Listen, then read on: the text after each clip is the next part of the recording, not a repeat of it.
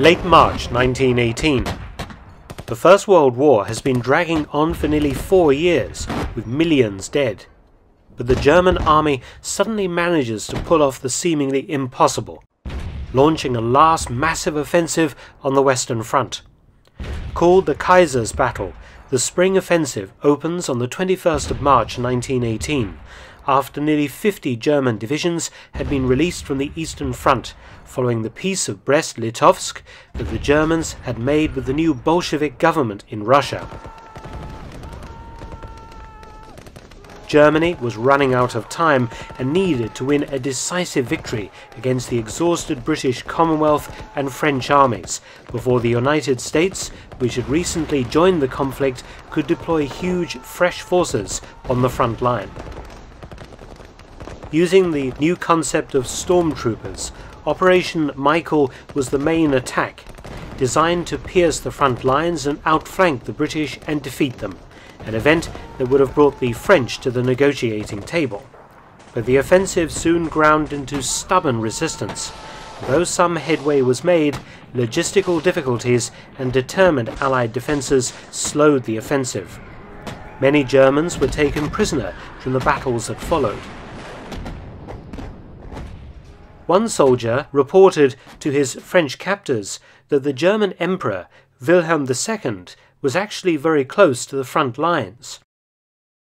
He had established a command post in a captured chateau just outside the French village of Trelon, three miles from the Belgian border.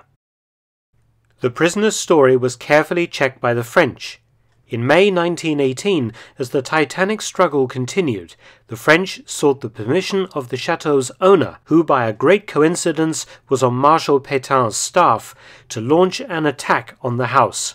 He agreed, and the scene was set for one of the world's first surgical strikes in warfare, a deliberate targeting of an enemy head of state for assassination. By 1918, Kaiser Wilhelm II had been very effectively vilified in Britain, France, and the US by Allied propaganda efforts. Some of it was, of course, true.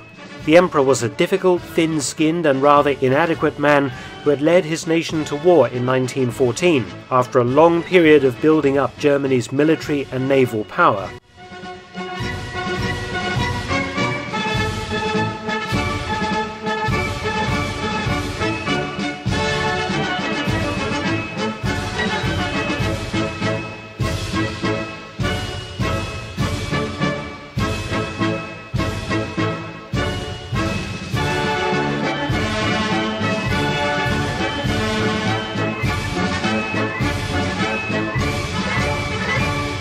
A grandson of Britain's famous Queen Victoria, Wilhelm was born with a withered left arm, a disability that he had tried to disguise and which caused him anxiety and affected his masculinity at a time when monarchs liked to portray themselves as the very epitome of the masculine warrior.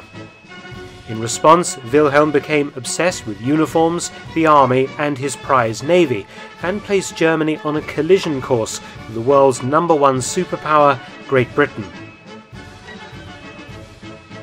Wilhelm II was the titular head of the German armed forces, but actual control of the army was exercised by its professional commander-in-chief, Field Marshal Paul von Hindenburg, and the General Staff, headed by the extremely capable General Erich Ludendorff. But the Kaiser, who saw himself as a great military leader, loved to interfere, and often set up field headquarters where he was able to play court at the front, and to which Hindenburg and Ludendorff would pay lip service. The French shared the information concerning the Kaiser's suspected whereabouts with the British.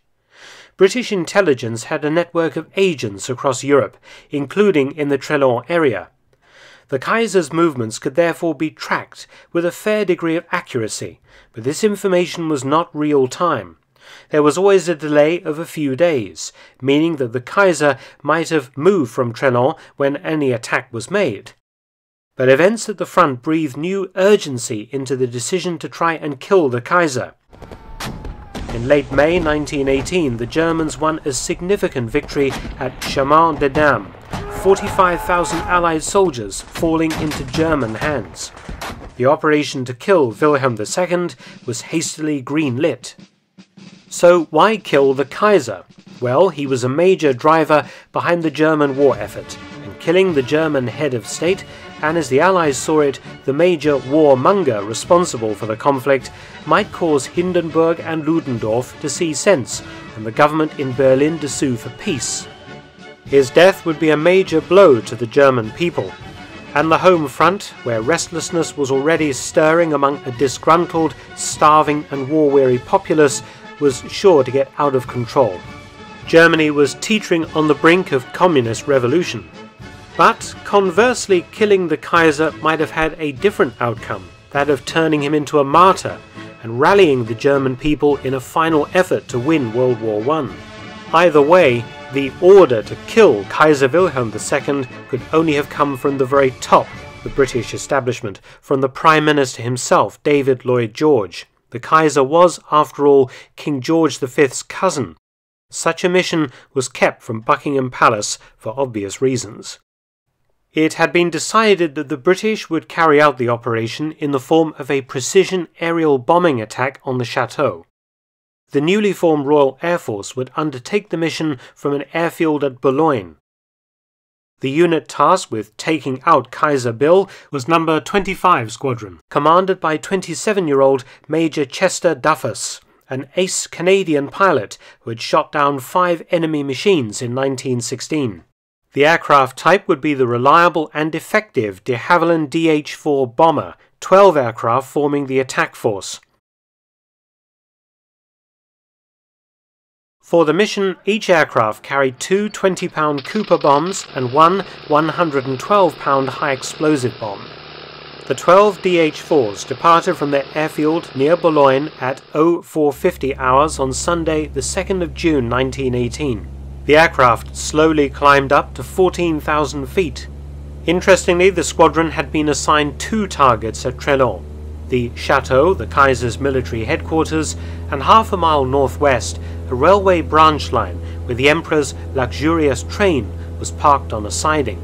The idea was that if the house was attacked, the Kaiser might flee to his train and they would have a second chance to kill him then.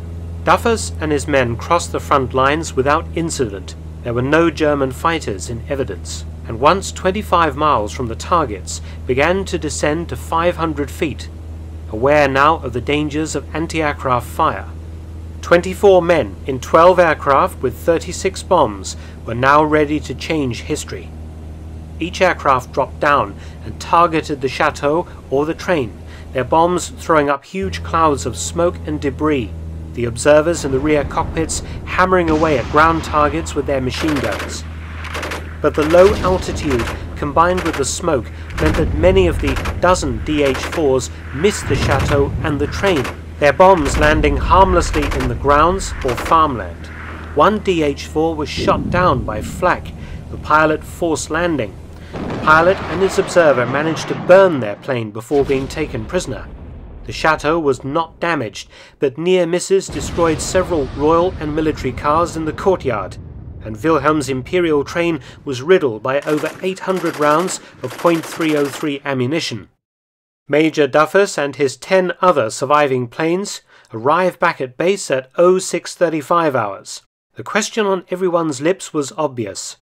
Was the hated emperor dead Alas, no. The Kaiser had left the Chateau de Trelon by car 19 hours before the attack to travel right to the front lines, and was unharmed. The Kaiser's battle dragged on for several more weeks, both sides suffering a total of one and a half million casualties. However, with the failure of the spring offensives and revolution at home, Kaiser Wilhelm II was forced to abdicate in November 1918 and Germany became a republic.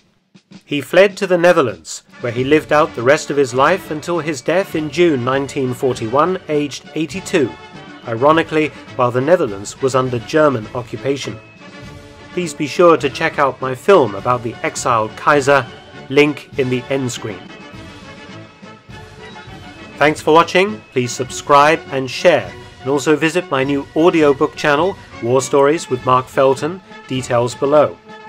You can also help support both of my channels at PayPal and Patreon, details again in the description box below.